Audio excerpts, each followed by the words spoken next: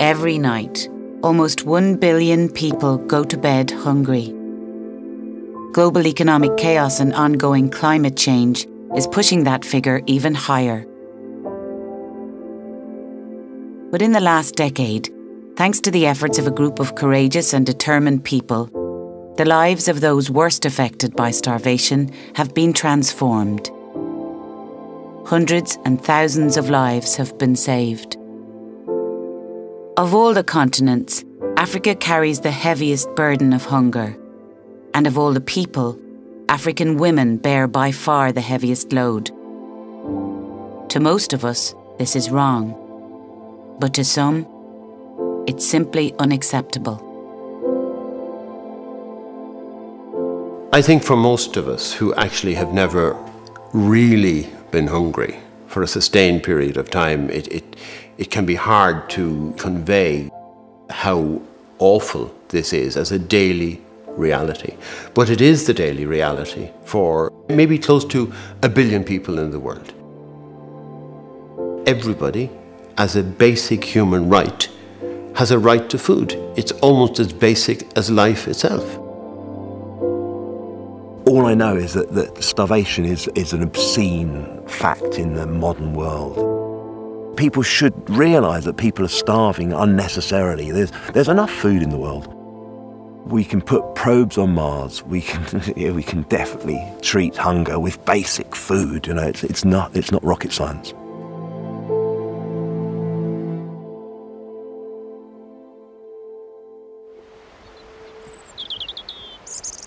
Over the past 20 years, Steve Collins, a medical doctor who specialises in nutrition, has worked in every major famine emergency in Africa.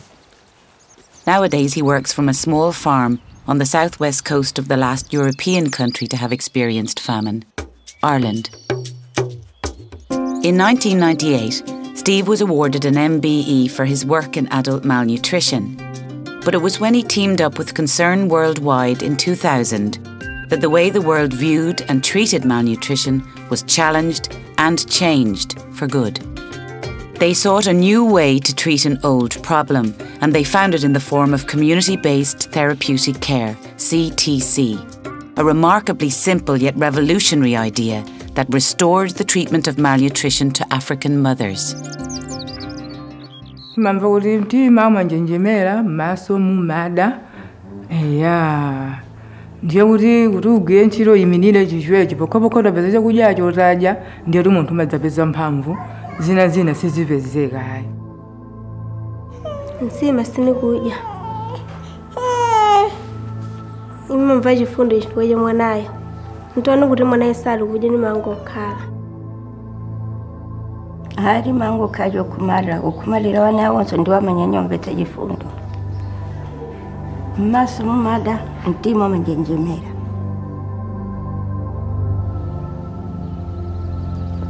Until recently, these mothers and their babies would have been treated in centralised feeding centres.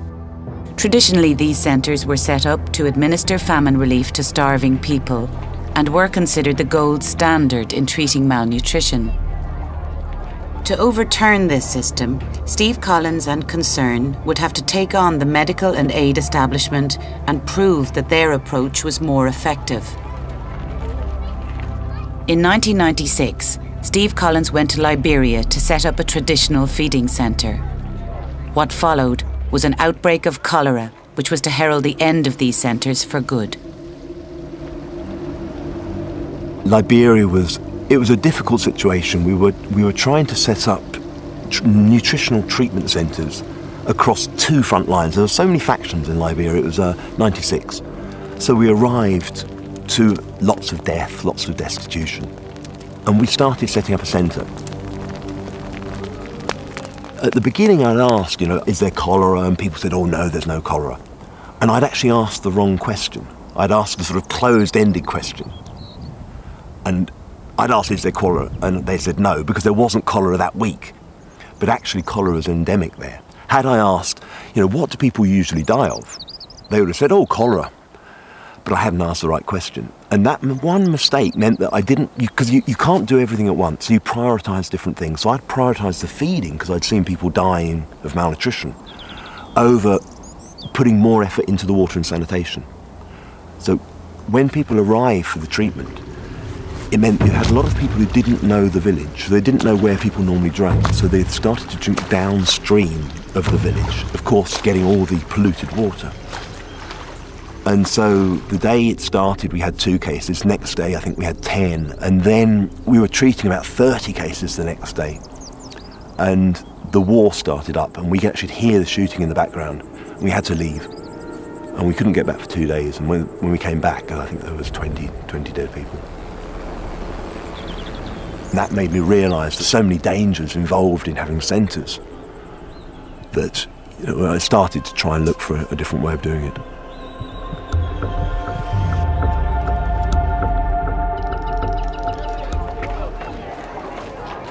Around the same time, Anne O'Mahony, who has worked in emergency situations with concern since the 1980s, was struggling with the shortcomings of feeding centres in Sudan.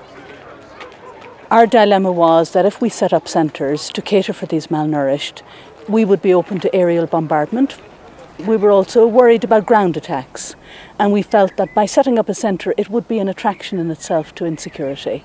And I suppose more and more it, it became clear that centre based care wasn't the solution. Up to then, I suppose the, the big constraint to having community care or enabling women to feed their babies in their homes, malnourished children, was the fact that there wasn't a suitable food that could be used in this circumstance. Anything that we were giving out had to be mixed with water. In 1996, a French nutritionist, André Briend, invented a product called Plumpy'Nut, a peanut butter like supplement rich in vitamins and minerals. This was a major breakthrough in the fight to prove the value of the community based approach. My hope when I was developing this uh, product was to start a revolution in the management of severe acute malnutrition because the solution before that was quite unsatisfactory. So, this is what we wanted to have something which could be used at home. Developing the food was not enough, and uh, we, it's like a little bit like inventing a computer without the adapted software. We, we needed some program adapted to that. And uh, Steve Collins is, was very much involved in program management, and he was a key person to change the approach. I think the invention of Plumpy'Nut uh, was a, a key breakthrough. It's an oil based product, there's no water in it, and so bacteria can't breed in it. And so having this perfect nutritional product that could be used safely at home really facilitated CTC. But in order to develop a more community based approach, Steve Collins knew he needed to have a thorough understanding of the people, and in particular the women he wanted to help. If the mistakes of Liberia had taught him anything, it was to ask the right questions. They use the whole water. So is the pump broken? How long has the pump that is in the village been broken? One of the key things that struck me when we were developing CTC and looking at life in Ethiopia was the incredible workload that women have. We, we did lots of studies looking at how women spend their days because obviously that's vital. You have to know what women are doing. If, you, if you're going to say you've, you've got to come for a day to a centre, you know, have to know what they're going to miss.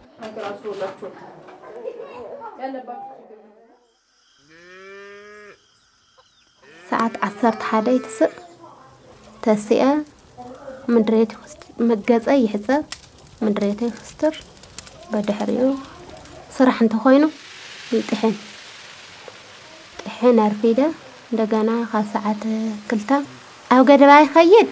እምኒ ይካትት ሓመድ ይካትት መጓሕፍያ ገይረ ይጉሕፍ። መኩዓቲ ገይረ ይጉሕፍ። ኣብኡ ፍቲ ገደባ ፀብሒ ይሰርሕ። እንጀራ ጣይታ እውን ተመሽኒ ይዓዪ ተፀልሚት እንኮይኑ ይዓዪ ላምባብርሄ ላምባብርሄ ይዓዪ ዕንጨይቲ እዚ ገይረ ይዓዪ እዚ እዚ ላጎልኩ Uwait Kase Fanta lives with her family in a remote part of Tigray in northern Ethiopia. She's a mother of six and, like other African women, is busy from before dawn until after dusk, working in the fields and looking after her house and family.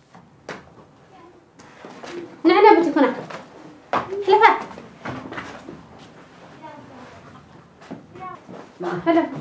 ዓመታት ኣቆልዓ ዓመታን ክልተ ወርሓን እያ ብድሕሪኡ ግን ኣብቲ ገና ዓመት ለይመልአት ዝሃለየት ከም ዝዑሖም ሲላ ውግኣት ሒዛታ ነይራ እዚ እዚ ትኾን ኢለ ይህውኽ ብዙያት ተልዒልዋ ይኾን ብጥምየት ይኹን ብፀገም ይኹን ካብ ባዕለይ ፅርየት ይኹን ለይተመላላእ ኩላ ከምዚ ላልኩ ኣብ ገደባ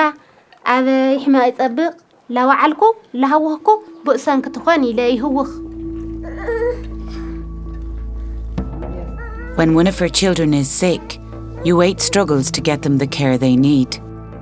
The isolation of her home and the fact that she has no form of transport means that any journey she undertakes is long, arduous, and on foot.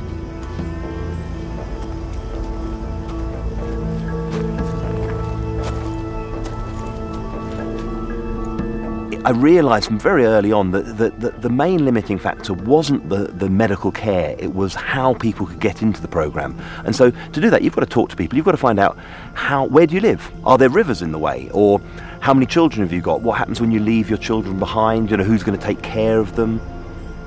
You know, obviously, if it's harvest time, people don't want to have to walk for two days and miss their harvest because someone might steal it or they might, you know, might, birds might come in. So all these questions about what what are their lives like?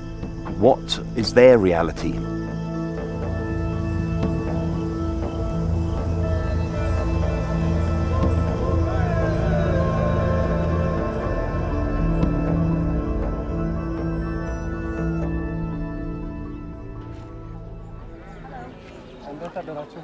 Well, very often when we go to visit the villages, we do find that Mother X's child died last week. You ask her why she hasn't uh, she hasn't brought in her child, and she she would say there was nobody to look after the children. Um, and we got that story after story, and, and, and that's quite common. And taking a mother out of their home scene leaves a huge gap. So, who's going to feed the other kids? Who's going to provide the care and nutrition and nourishment that the rest of the family needs in the absence of the mother? And very often it doesn't happen. It's, it's again, it's a question for mothers of, of making these decisions that are so difficult that no mother should be asked to make, actually.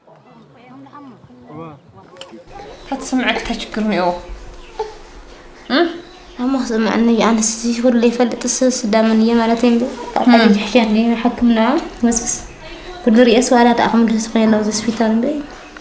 أنا سلي فلت عد ولا حديقس تابي لي مالت سخصن قاعد أتخيط كسفت المدرسة زبط حد شجر تأيين يوم خذني يوم نشتري كل فلت كتم تعد نبلي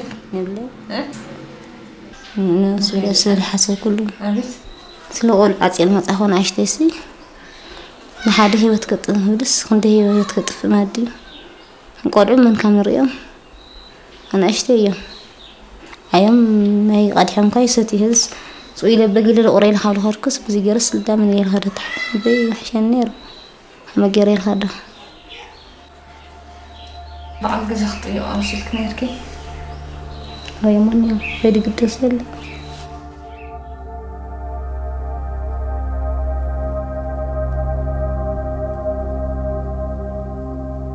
With a better understanding of the difficulties confronting these women, it became obvious to Steve why so many mothers did not make it to feeding centres.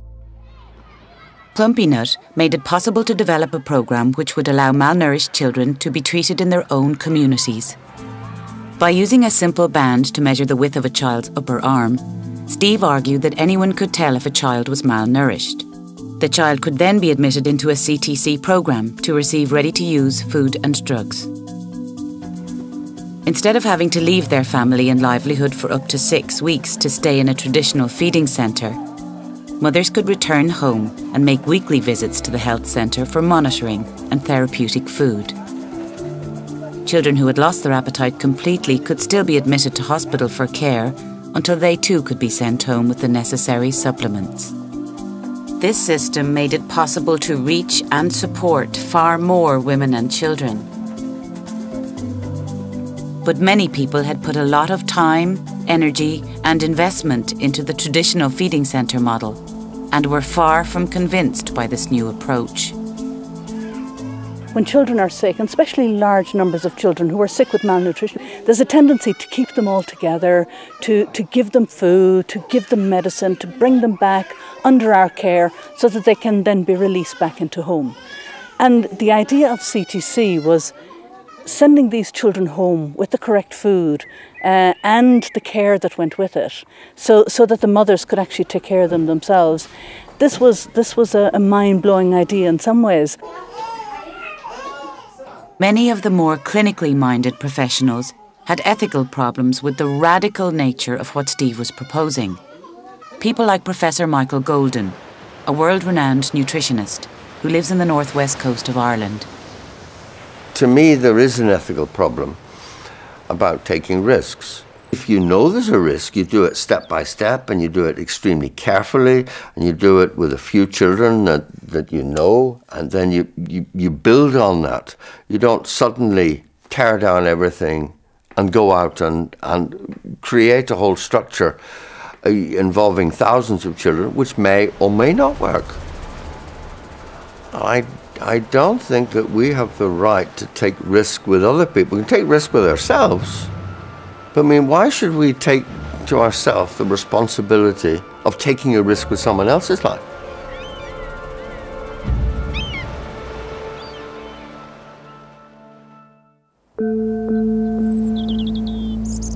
Despite Steve Collins' conviction that his new community based approach to treating malnutrition, CTC, could save hundreds of thousands of lives, he needed proof.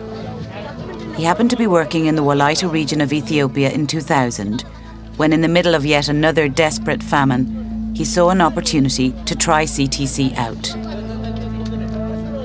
The government had banned the setting up of traditional feeding centres as they believed them to be ineffective. Concern were working in a neighbouring district, and when Steve suggested that they try CTC and study the results, they agreed. in a way, when the CTC idea came along, it came along at the right time because a, a, a sufficient number of people were asking questions about the effectiveness of the traditional model of, of dealing with malnutrition. So then the challenge was that over a period of time, could you actually demonstrate with evidence that this was indeed a better way of dealing with it? And that's what we set out to do.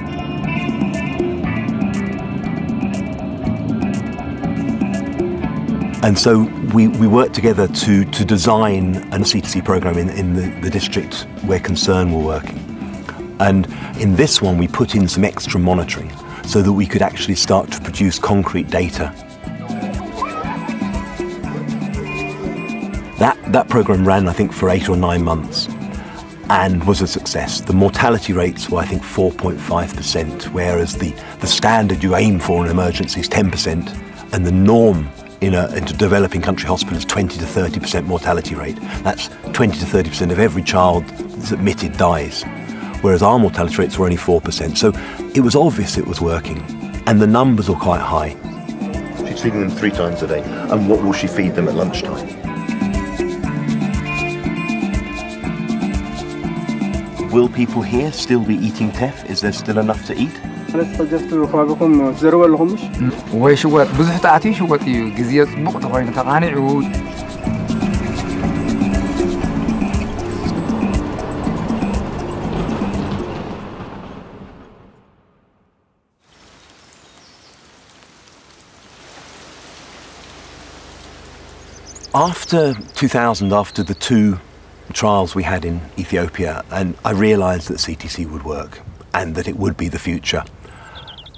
And I, I, I, I became a bit obsessed by it, I think.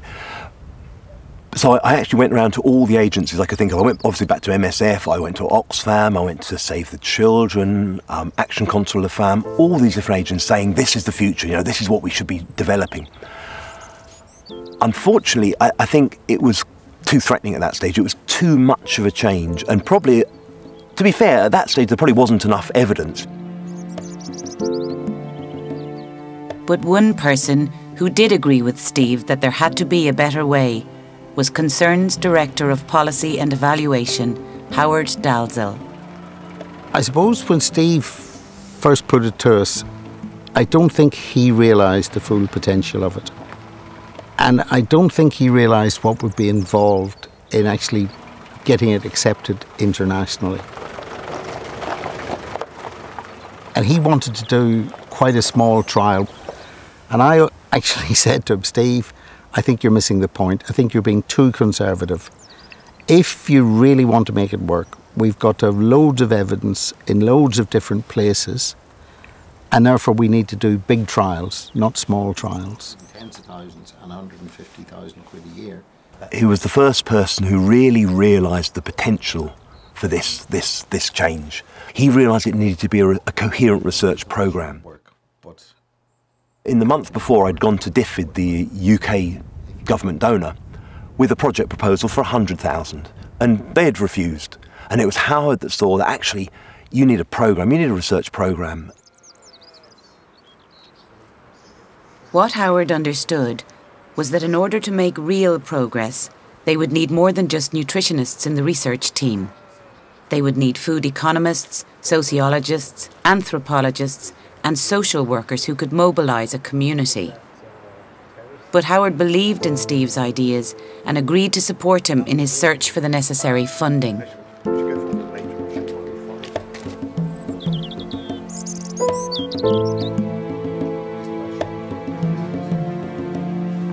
Well, Howard came to me with this idea about CTC uh, and he explained it and the principles underpinning it. He was very convinced that uh, this was a potentially important way to, to deal with, with hunger, and particularly severe acute malnutrition. And he then had the idea that in order to, uh, I suppose, get further support, we would try and get support from Irish Aid. And he went and spoke to Irish Aid and said critically, we're prepared to put some of Concern's money in this, and would you from Irish Aid point of view, put some of your money in it. And together we, we, we would work together. And obviously, crucially, the, the core idea, which was from Steve Collins. So when Howard came to me, he said, look, we have an innovative project here. We think that through CTC, we can change the architecture of emergency response. My eyes lit up, of course.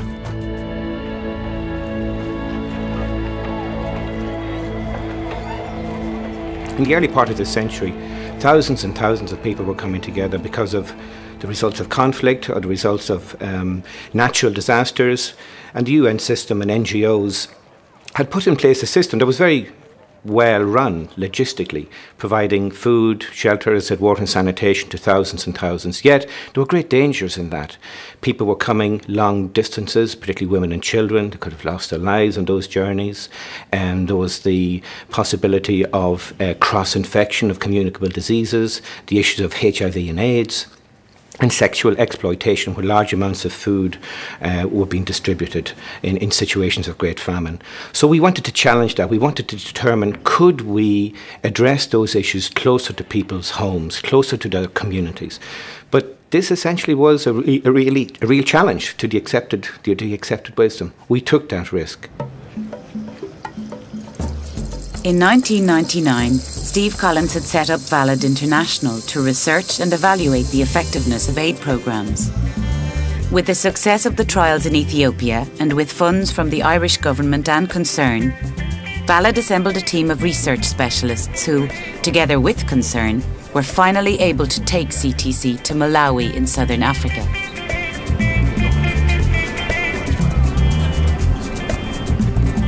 We started implementing in Malawi.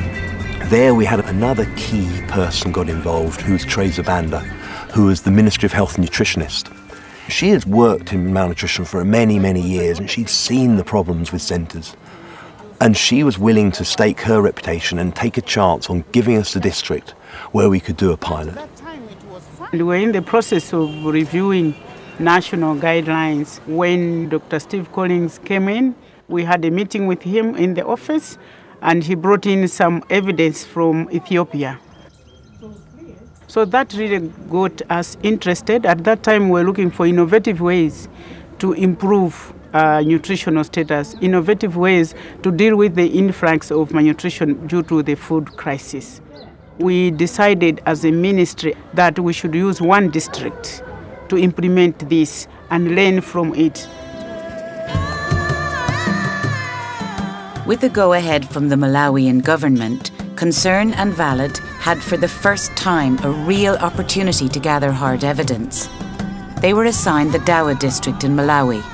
where they treated almost 2,000 children within the first year.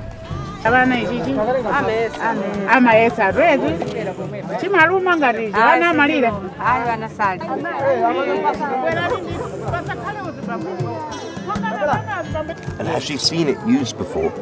I ati munaona agwirisa ntchito ichichi. She has not seen anybody use this. Yes she has- But it was the work of sociologists and anthropologists that uncovered the most significant and far reaching obstacles to treating malnutrition.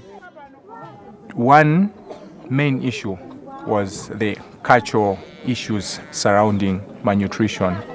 With, for example, people believe that malnutrition is caused by parental sexual behavior. If a, a father goes out, sleeps with some another woman, and then that brings a spell on the child.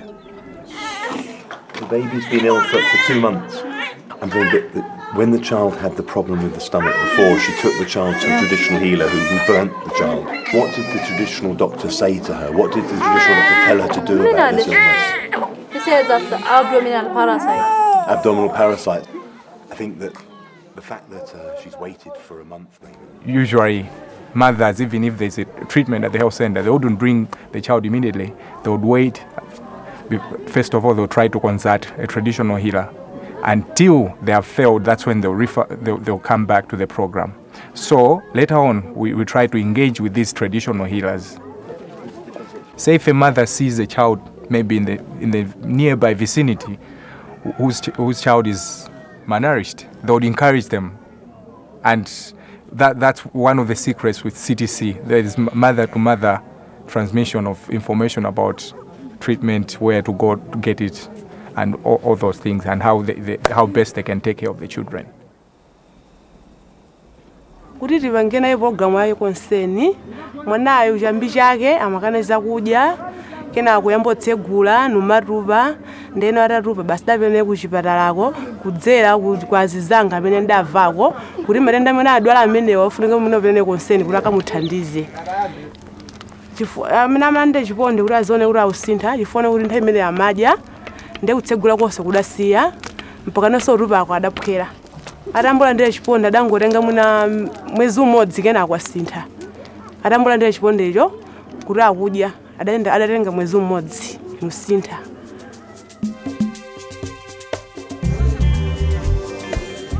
In the two years following the programme in Malawi, the team developed a database of over 23,000 cases.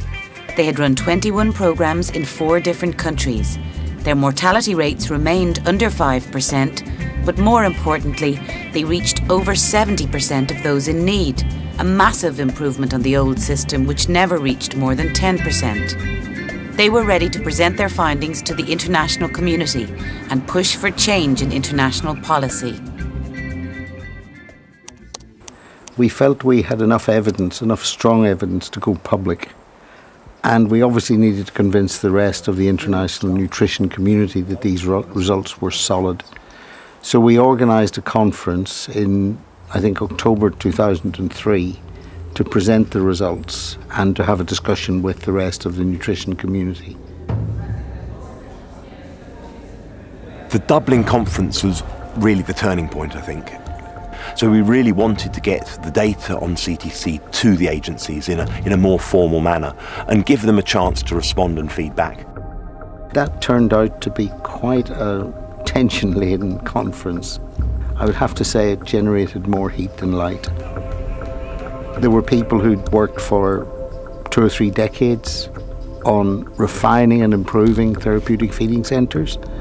And then there was the, the new fringe doing the community therapeutic care approach. Treating starving children is a very emotive subject. And here are we saying that actually we can do so much better, and there's an implied criticism of what was going on before. I think that there was a resistance by some NGOs for everyone to jump into bed and do the same thing and abandon what they were doing. Um, they wanted to see how the risk that was being taken would pan out before they before they did the same thing. And so there was a reticence for everyone to copy and say, we're going to abandon everything we've done in the past and we're all going to do exactly the same as, as concerned. A lot of opposition from large agencies based around volunteers, and I think they probably felt a little bit threatened that we were saying that the volunteer model as well didn't really fit with CTC, where you actually only need one professional, and it's much better if they're a local person who knows the environment rather than a lot of enthusiastic volunteers. There were people still on both sides of the argument at that stage, but what was beginning to emerge was that the evidence was beginning to accumulate. And uh, with that, of course, the argument began to tilt towards the, the, the CTC. After the Dublin meeting, where they'd seen the strength of our data, I think people realised they could no longer use just ideological objections. And I think they realised, in a way, that the CTC train was, was leaving the station and they were either on board or they, or they, they were left at the station. Well, after that conference, we continued to do trials and we also extended the work to other agencies. So it wasn't just Concern doing it, MSF were doing it, um, Tearfund were doing it, Save the Children were doing it. So other agencies following that conference decided that they were going to give it a real try and see could it work for them, and it did. It isn't just children, however, who benefit from CTC. It has also transformed the lives of thousands of people with HIV/AIDS. In 2005, RTÉ Prime Time visited Malawi and met Akeem, who was then close to death. He had been abandoned by his family and had even been moved to a hut close to the graveyard.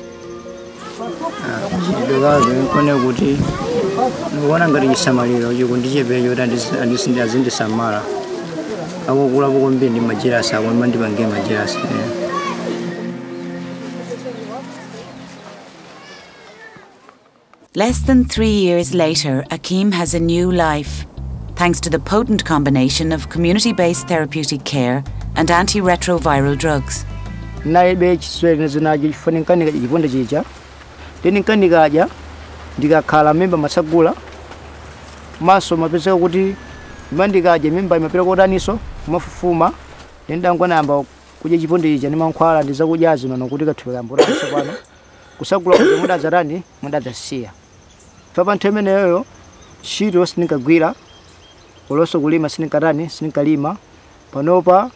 ntchito nimatheka nthu kugwira. Ndikasangalala basi timancheza kucheza basi ngati pali chakudya kuphika chakudyacho basi nkudya chikadya idya basi kubwera kumundo kuno.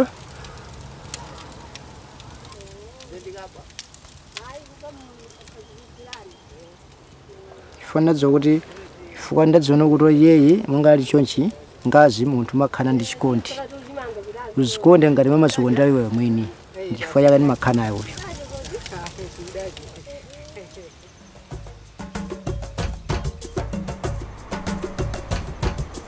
But the real success of CTC could only be measured when and if the United Nations and the World Health Organization endorsed it. This was the next crucial and defining step. In 2005, a meeting was held at the WHO headquarters in Geneva, which would decide whether or not to replace the traditional feeding centre model. Although some trenchant resistance remained, the majority of those present supported the more community based approach. But there was still one main stumbling block the way child malnutrition is measured. The evidence has always been extremely strong that middle upper arm circumference is a great predictor of mortality in young children. But there, there was a large group of people who thought, no, no, we need to do mathematics, we need weight and height, basically because that's what we've always done, I think. A factor that, that you could consider is the perfect being the enemy of the good. So if we consider weight for height, and you get Z scores, standard deviation, everything, you've got the perfect. That is the perfect gold standard. But on the other hand, you have a simple upper arm circumference that, yes, is not perfect, but it is a good measure to use for a community screening. And when we're looking at public health and when we're looking at options for the community, then we will choose the good over the perfect.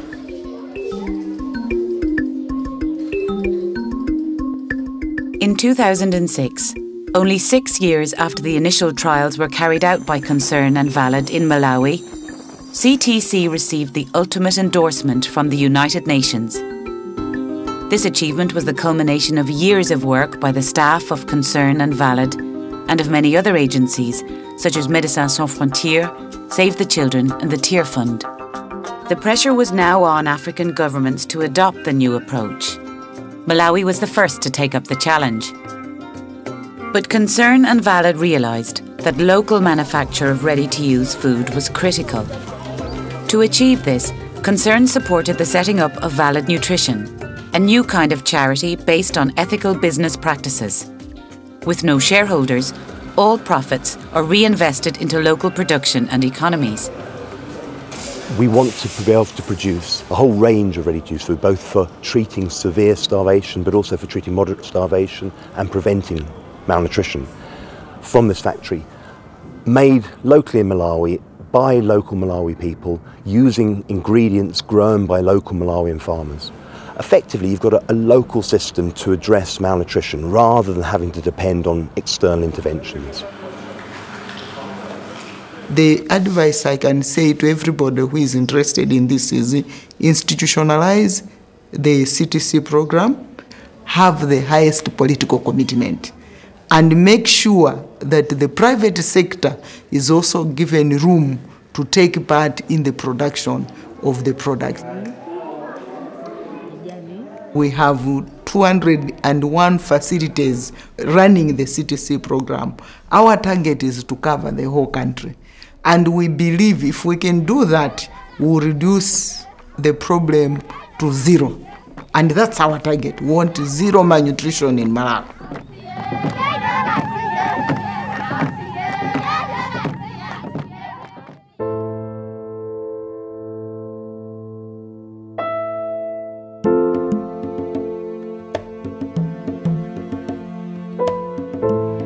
Community based therapeutic care, the radical new approach pioneered by Dr. Steve Collins and championed by Concern worldwide, has transformed the treatment of severe acute malnutrition throughout the world. Although this required conviction, courage, and dedication and has saved hundreds of thousands of lives, it is only part of the picture. Severely acute malnourished people make up only 10% of the world's hungry. The other 90%, the chronically malnourished, are far less visible. These are the hidden hungry, people who may not be in immediate danger of dying, but who are nonetheless suffering from the effects of malnutrition. Apart from the daily torment of going without food and all that entails, these people are also burdened with the life sentence of stunting, the effects of which only become apparent later in life. When a child is born, one of the parts of it which grows fastest is its nervous tissue. And if you don't have the right nutrients in that first couple of years of life when the brain is being wired, then the brain never reaches its full potential. So a child that was born to be an Einstein ends up not being able to cope with primary school. And, and once you miss that two years and you miss that brain development, it's gone forever. You, you can't get it back by good nutrition.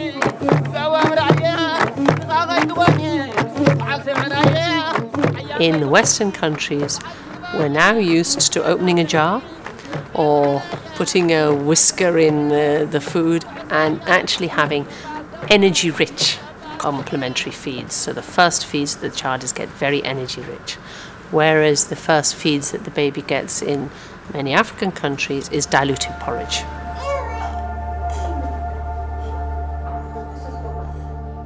There are 40 important essential nutrients, at least 40 essential nutrients. You need every one of them, all 40 of them to be healthy. All you do is miss one of those 40 out, and you will not be able to resist disease, you will become sick, you lose your appetite. You just, you just sit there like a zombie.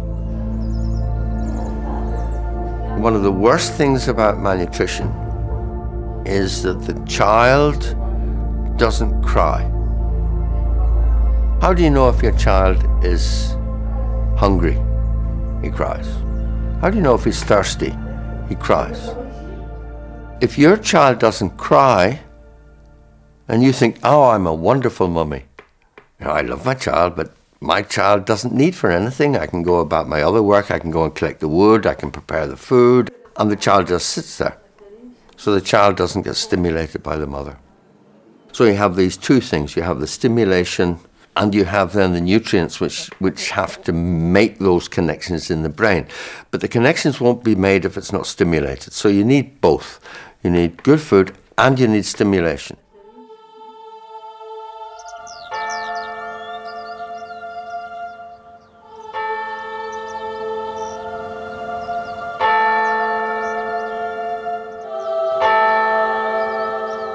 Stunting is something that I don't think is known anything like enough about. And stunting means you're cutting off somebody's life prospects. You're reducing the economic future of many of these countries. And countries themselves need to know that unless they work to prevent stunting, they're actually putting a burden on their own potential for decades to come. ጥዕና ፍጠረለይ ምስ ደቀይ ለኣየይ መተሓዳደሪ ፍጠረለይ ኢለ ይልምን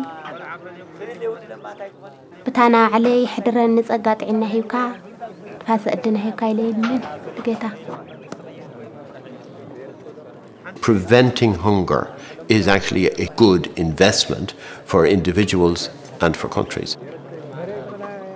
Now, what to be done? Where should the policy focus be? Very definitely on better nutrition for pregnant women and children under two. Massive intervention programs to deal with that problem. CTC provided a window into the world of the severely malnourished, and in doing so revealed the shocking reality of the daily lives of many African women. Most importantly, it highlighted how their unequal status is contributing to their own and their families' vulnerability to hunger. Not only are they fully responsible for the care of their children and home, they also do 80% of the agricultural work. They have few rights and even less choice. They are usually the last to eat at mealtimes and the first to go without food when it is scarce. They are often anemic during pregnancy and when breastfeeding, and their babies are frequently born underweight, perpetuating the vicious cycle of malnutrition. Most mothers, they work very hard in the fields and they grow enough food. Probably in the end, that food may be sold and the children may not be fed enough. They suffer inwardly. They wish they could have done better for their children, but probably they don't have the means or they don't have the knowledge to do it. At times it's the feeding practices, at times it's the cultural practices, but um, the inwardly, the mother would want a healthy child. Every mother would want a healthy child.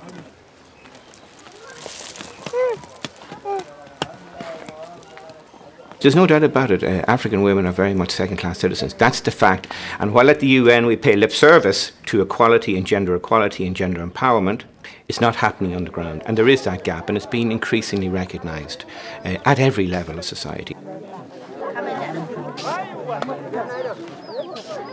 But if we want to improve the lives of women, if we want to improve the lives of children, if Africa wants to produce enough food to sustain itself, there has to be a refocus on agriculture and rural livelihoods. Most of the hungry people are actually living on small farms. So one key way to get around it is not that the state comes and brings food to them, it's that they are enabled to produce the food themselves. And that requires big changes in the importance of agricultural policy, in government giving more support to farmers and to the rural areas so that farmers can, can produce and can trade.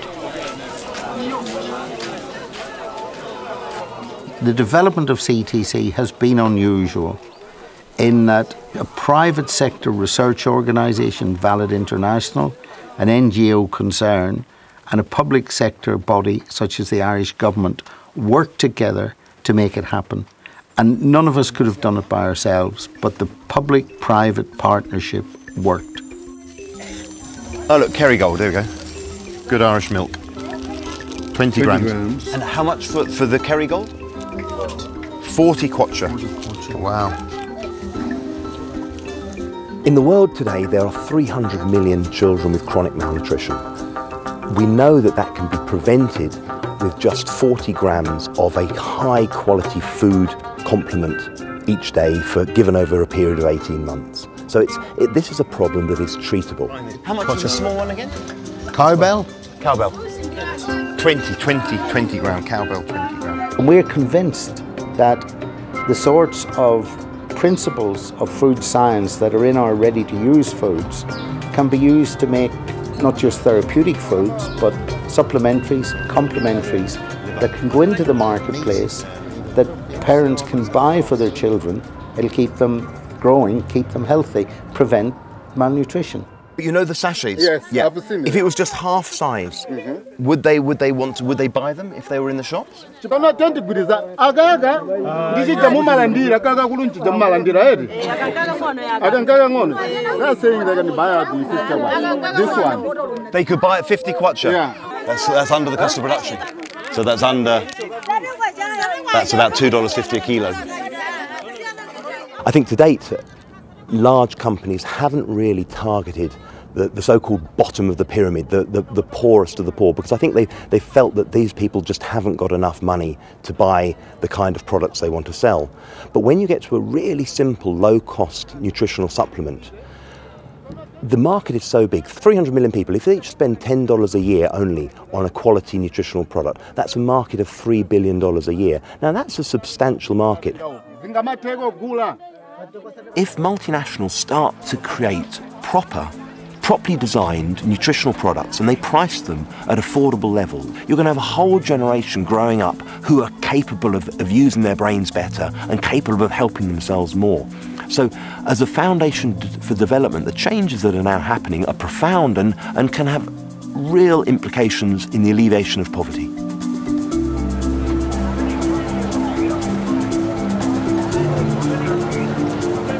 Surprises companies when they hear that an NGO and a not for profit humanitarian company are actually following business principles. They don't expect us to be wanting to manage costs very clearly, to be wanting to show a surplus which then gets reinvested. They see charity and business as very different. And this whole concept of a not for profit company, Valid Nutrition, with a humanitarian mission following best business practices is just unusual.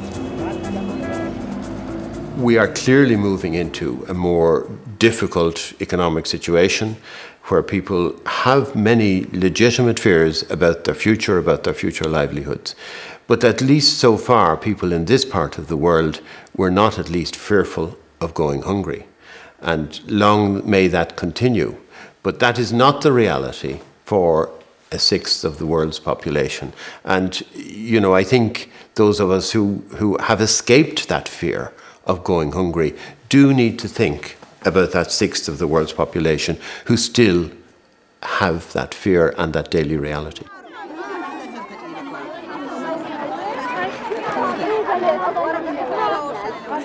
The Irish Government Task Force report, published in the autumn of 2008, stated clearly that there had been a collective failure at international and national levels to prioritise ending global hunger.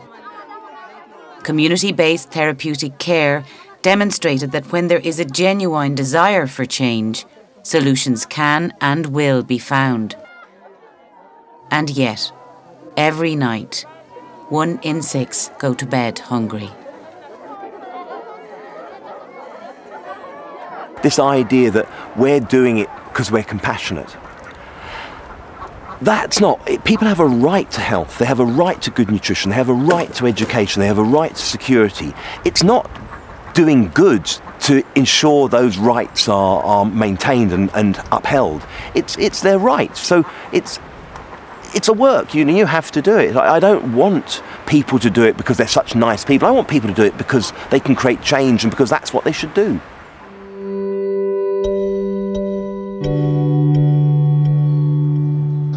Child death through serious malnutrition is probably the greatest blasphemy in the world today.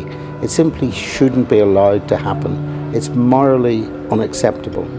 And I think what will actually stop it happening is moral indignation. Slavery was seriously tackled 180 years ago.